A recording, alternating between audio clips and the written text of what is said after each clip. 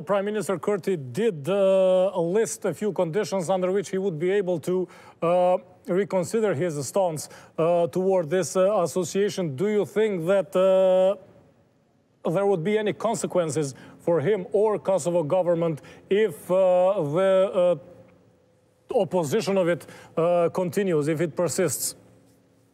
Yeah, well, I don't want to speculate too much on what the United States uh, would do mm-hmm. um, because I think that that's inappropriate. But I will I, I will say this, and I always say this: uh, U.S. U.S. and Kosovo are good friends, right? And and our friendship uh, is is cemented in 1999, and I, I truly hope that that friendship lasts.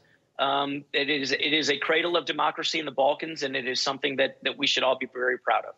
And uh, have you noticed any changes regarding U.S. approach after the, the introduction of so-called EU plan uh, for uh, Kosovo-Serbia dialogue based on a French-German uh, proposal?